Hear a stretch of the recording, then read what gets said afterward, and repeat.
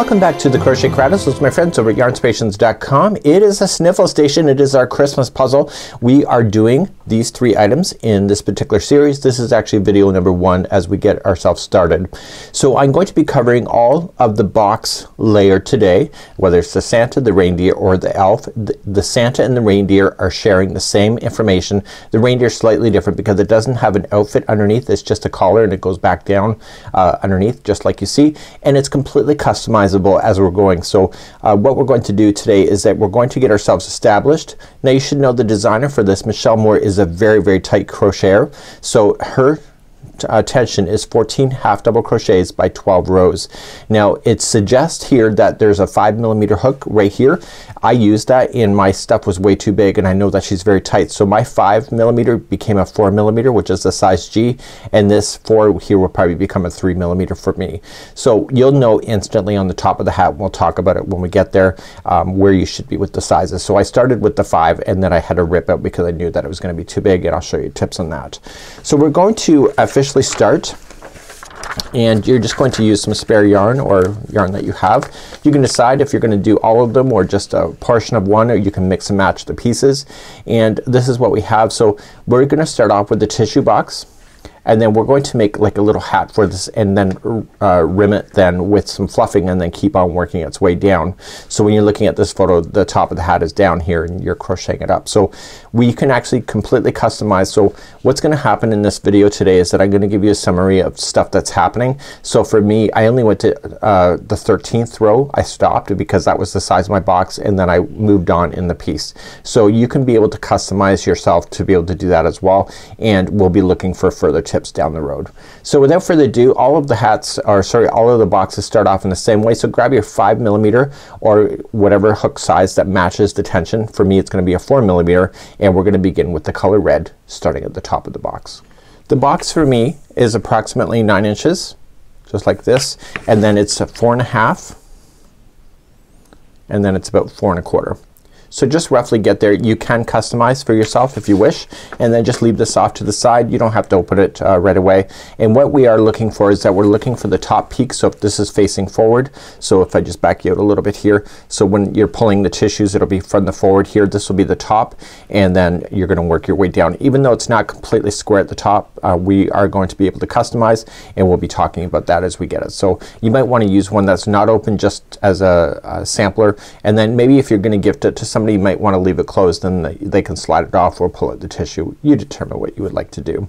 Let's grab our yarn now and let's so let's begin. We're going to create a top of the box here and this is what's going to happen is that when then we're going to add the face and then the neckline and then the base outfit. So this will be a one-piece unit. Now I like to crochet in assembly line format so I like to make all of them at the same time. So I'm actually making the third one and then I'm going to be uh, showing you how to do the face work on the way down and then I will be able to catch up. And so I find with myself I don't have to memorize the pattern so much when I do it as an assembly line. So if you're making these for grandkids or whatever um, it's easier if you just do it like an assembly line. Let's grab our crochet hook now and we are going to chain a total of 17. So let's do that. So one, two, three, four, five, six, seven, eight, nine, ten. 11, 12, 13, 14, 15, 16, 17. Once you have 17 done you're gonna go second chain from the hook which is odd but it's gonna be nice and tight second chain and you're going to half double crochet and you're gonna half double crochet in each of the chains going all the way across. This is officially row number one and meet me at the end of your chain in just a moment. Now I've officially just half double crocheted myself all the way across. So grab the top of your box. Here's the forward of it. So let's just crochet backward. So we're just gonna go to the back. Lay it over the top and you see that it's pretty much the same width across. Stay with that and now continue. So let's go into row number two. So you're just gonna turn your work. So she's su suggesting for us to go to row 17. I would customize. I only went to 13 before. So just chain up only one and in the same stitch you're coming out of half double crochet and this will make a nice good edge to work with. So whenever you're going back and forth just chain one and then half double crochet in each stitch. So there should be a total count of 16 stitches across. So I'll meet you at the end of this row and we'll talk about that and then we'll carry on in this tutorial. So I'll have to do this off camera for a bit.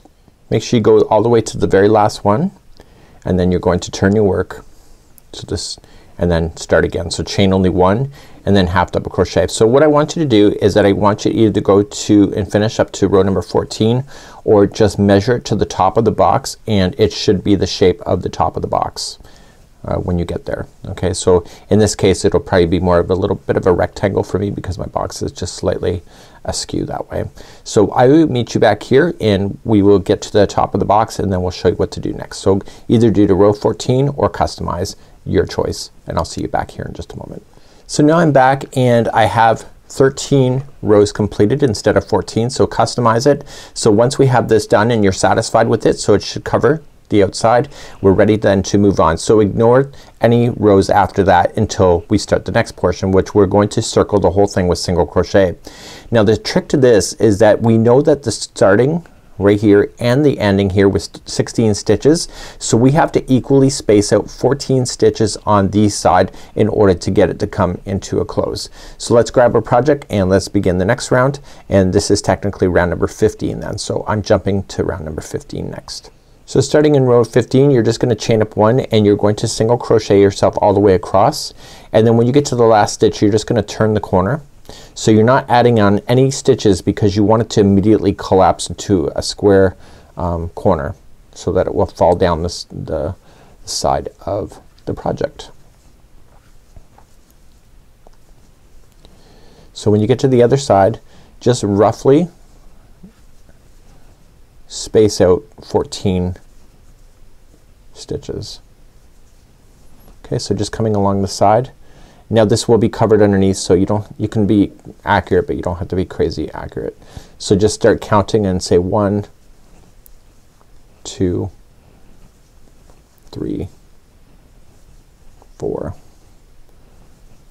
five, six, seven, 8, 9, 10, 11, 12, 13, and, four, and 14 is the last. So then turning immediately and going into the first stitch. Now the rest of the box is not dependent on this number. That's the nice thing about it is that you could just go all the way down then. So just continually go around so there's 16 across this and then equally space another 14 on the other side and I'll meet you back uh, there in just a moment. Do not fasten off. When you get all the way around I just did 14 down this one equally spaced and then I'm just gonna slip stitch it to the very beginning one that we had started with. So next round, round number 16 is that we want to in the back loop only half double crochet around. So when you start with these half double crochets start with the chain one first. It keeps it tight and then starting in the very first one in the back loop only. So just stay if you're new to crochet the first loop is the front the second is the back loop and together they equal a stitch. So staying on the back loop this will naturally bend the material. So just follow it all the way around. There's nothing to do in the corners and so this will be like a cylinder going all the way around. So back loop half double crochet all the way around. I'll see you at the end of round number 15. Sorry round number 6. I'll see you at the end of round number 16. When you get all the way around on number 16 you're just going to slip stitch to the top of the first half double crochet Now's the time and Michelle's suggesting this as well. Grab up that box and let's just make sure that this fits. So if this is wrong you're going to know right now before you go any further. So just take out the hook and just slip it on over. You want to be a little comfortable because you're gonna have to slide this in and out like when you change over the boxes right. So you want a little bit of tension but you don't want it crazy that you're having to rip it in order to get it. So there it is. It's sitting See I can turn it upside down. It's good. So we're now going to move on to the next two rounds of just straight half double crochet rounds. So let's just continue to do that. So let's do round number 17 and 18. You, you can do it. So just chain up one and in the regular stitch now just half double crochet yourself all the way around. When you get around just uh, slip stitch again, chain one and half double crochet again. So please do rounds number 17 and 18 now and then the equation will change once again. I'll see you at the end of those two rounds. I have 17 and 18 done and now I'm going to fasten off this. So you can be relatively easy and carefree about it. This will tuck up underneath the project anyway. But you can use a tapestry needle if you wish to be able to hide in the yarns. I'm gonna stay within the outside here. We don't want to mess with that too much because we're gonna have to access that again in the future. So let me just uh, quickly demonstrate. If you're going to use a tapestry needle at any point just feed it onto the tapestry needle. Stay to the inside and then just glide it up under some stitches at least three times back and forth. And therefore you can safely then cut that out and not have to worry about it ever again. So we're gonna start with some white fluffy yarn. You'll be amazed how the next round will change and then we're going to then add skin tone after that and you can make any skin tone you wish. So let's uh, just start with the fluffy yarn. You're gonna need the fluffy and a white regular yarn. So let's talk about that next. So the white fluffy yarn is added and we're going to be working on the wrong side Michelle says. And so what we're going to do then is that we have to just pay attention to how we're joining it. So we're going on the back loop looking at it. So when we go to crochet we're gonna crochet this side. Usually what we do is we crochet like this and then we go in the opposite. In this case we wanna go this way. And so we're gonna do that next. So we're going to start and we're going to layer a Bernat Pipsqueak and just a Bernat Super Value. It could be any value yarn. But you're gonna use them like they're one so they look like they belong and they're also the same shade. So let's just create a slip knot with those so that they're together and we're going to use the same size hook for that. So what I would do is recommend that you start midway. So if this is considered the back we know that this is front and back. So I'm just gonna go on the back loop only. So I'm just going to come here and I'm going to join it. This stuff's really easy to hide mistakes if you make anything. So you're just going to join it and then chain two going around both strands and then in the same back loop you're going to double crochet. So what I want you to do at this point, I think I'm grabbing onto a straggler. I'm doing that. So what I want to do is that I want to double crochet in the back loop going around. Again if you make a mistake it's really easy to hide. So going into the next back loop just double crochet. And that's all you have to do is just one layer of double crochet in the back loop. Once you have covered enough of the starting strands you can let that fall out. You can deal with that later and then continue the journey. So go all the way around double crochet and I'll see you back here in just a moment. This is round number 19. When you get all the way around you're just going to slip stitch just into the fluff somewhere. You can use your fingers and actually find the stitch if you really wanted to. And then you're just going to just trim off this yarn just long enough so that you can get it through a tapestry needle to again hide it in. We're gonna start off with our skin tone colors whether it is the deer or the Santa or the elves. You can do any skin tones you wish. You know just because we have the reindeer, the Santa and the elves doesn't mean that's the only thing you can create with this. Like you can create like aliens and you know why not a Christmas alien right? So you can do a lot of cool things. So choose the tone that is going to match your, your desires and then we're going to pick up in just a moment and I'm going to carry on. So for myself I like to assembly line it so I have all three of the tops now done. So when I'm going to work on this then the next portion I would do all the rest at the same time as well. So let's uh, begin and we're gonna move on to officially round number 20 but just leave it as is because you're going to use the wrong side once again. So let's begin. We're moving on to officially round number 20 and we're going to use the same round that we just used this before. So we were using the back loops and now we're going to use the front loops. Again I would start and stop right where you probably started before. So just grabbing the loop that is left, it's in the front side and you want to join it. So just join.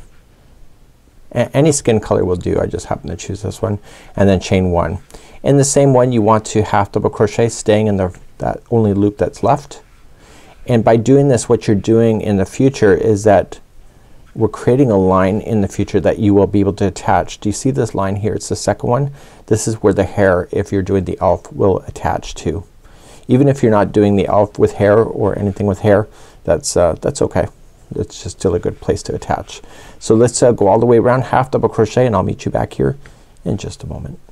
When you come all the way around you're just going to slip stitch to the top of the first half double crochet and you're still looking at the, the wrong side so I want you now to turn the project and flip it.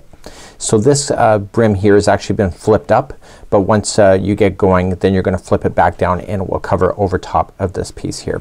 Let's move on to rows number or rounds number 21 and 27 but we need to talk about that before you do that because you are going to customize. So let's put your hat back on or the, the top piece and we're gonna do that. So this brim here has been folded up just so that you can access it but once you get going on this later you're gonna flip that back down. So you're just gonna boom like that. So your goal is, is now to use this, the skin tone regardless of what skin tone you have and go approximately 50%. she's suggesting it's seven rows but what I want you to do and she also suggests it too is that it's gonna be right I'm just gonna mark my box it's gonna be right about here.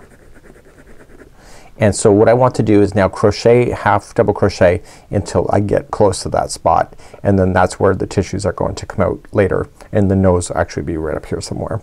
So let's begin to do rows rounds number 21 to 27. Now rounds number 21 to 27 or halfway uh, for the box you're just gonna half double crochet around. So when you get all the way around just half double crochet sorry slip stitch to the top of the first half double crochet chain up one and then half double crochet in the first and continue. So please go around until you're about 50% of the box and or the suggestion that Michelle's saying. And I'll see you back here in a moment when it's 50% done. So behind the scenes I've been working on this and actually the middle here is what we're going to be concentrating on next. So the opening comes out.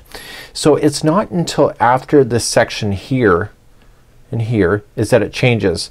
So for the reindeer it actually is slightly different and you're doing a collar which is just a change of color for three rounds and then down. So essentially you have to get yourself all the way to the base. So once we get the fun stuff done then you just crochet and when it sits flat it should sit flat so it's not exposing the box but just resting and so that's our goal. So at this point here with the Santa and any of these what we have to do is put it on and make sure it's at the halfway mark. Remember that I marked it? So it's around the two uh, the zero there.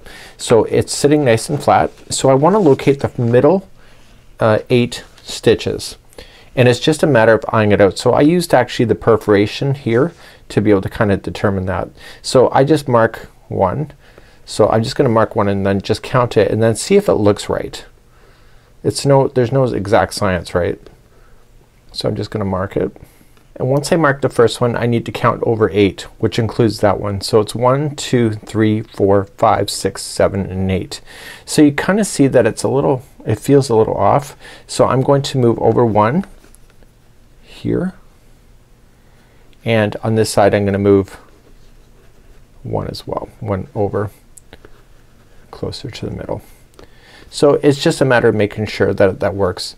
Also you're going to want to make sure that when this is sitting here you're leaning it up that it is sitting square to the box as well. And that looks pretty close to me. So what I want to do is that I want to keep moving with this color so I'm gonna turn around and when I get to this stitch here I'm going to skip it plus the other eight or other seven so there's a total of eight and I'm gonna chain eight and make that space and then when I come around the next time we're gonna fill that in so it leaves the opening. So turn it around to the back side and let's uh, take this off and we're going to begin the next round. So I'm technically on round number 28 so I'm just gonna start up put your half double crochet in that you know it and you're gonna continue to half double crochet and when you get around to the front side of this then what's gonna happen is that you are going to skip the ones that are marked. So you stop with the one before chain eight and then go to the one after that and then start half double crocheting around. So please do this. This is round number 28. So moving on now to round number 29. So you can see that I created the space. So this uh, 29 is the last time for the reindeer people and we will uh, be I'll be talking to you about that. So you're just gonna um, half double crochet around.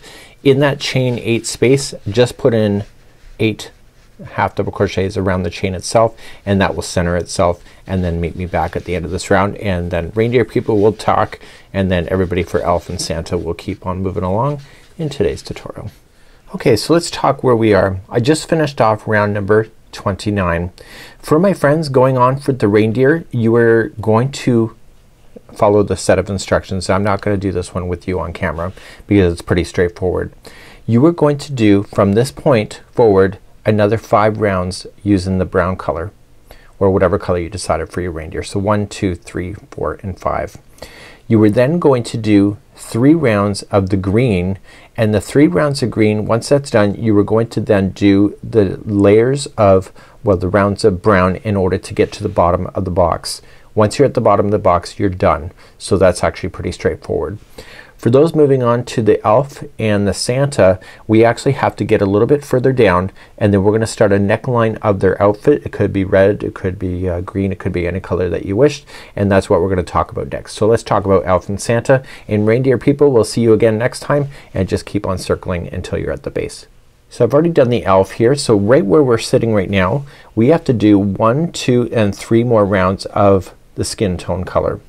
We're then going to do the layering of this and it's exactly done the same way with here. So we're going to turn to the wrong side, use the back loop and circle around and then in the same round we're gonna come up and we're gonna start the outfit once again and then the outfit is done as soon as it hits the base of the box.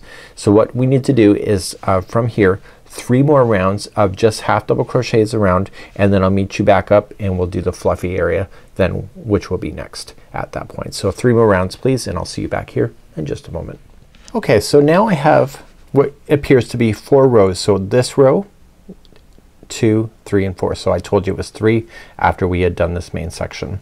So now I want to attach to the back middle. So if we know that this is the front we can tell by the opening. So we're going to do what we did before but this time it's to a different section and just creating a slip knot and we're going to go on this side here to go onto the back section. So we're on the wrong side by doing this and we're gonna go to the back loop only and then we'll use the other loop then in the future to attach then Santa Claus's color for his outfit or it could be elf or any other colors that you're doing. So just chain two after you do that and just double crochet in the same one and in the back loop only going around I need you to now uh, do a double crochet like you had done before and I'll see you at the end of this round. So I've just come all the way back around just slip stitch to the top of the first double crochet that you started with. Everything is pretty easy hidden. Let's uh, cut this yarn, let's uh, fasten it off and then we're going to start with the body color which will be the outfit color of the character you're making. So let's start with the outfit color. So we're gonna still continue on the wrong side just for one round and we're going to grab the remaining of the loops uh, that are there. Okay, so we're gonna go into what is called as a front loop. So we're just gonna pick it off and attach and chain one and you're going to half double crochet on the remaining front loops all the way around. At the end of this round we're going to turn the work completely and then we'll be working on the right side again for the remaining of this and then you'll finish off at the base of your tissue box. So I'll see you at the end of this round. So I've just come all the way around and I'm just going to slip stitch to the top of the first half double crochet. So now we're going to turn our work completely and then work on the right side which is this side, the good side. And you're going to stop when you get to the base of the box. Just for the record my elf that I did it's this row plus five more but you could be different make sure that you are measuring it to the box. And so it doesn't bunch up. So it just wants to rest nicely onto a surface. So you're just gonna chain up one one half double crochet in each round and continue to do the rounds until it's at the base of the box. So this is where I'm going to leave you today. And when I uh, see you next time we'll carry on with our parts of the puzzle and we'll be working away. So I'm doing all three at the same time.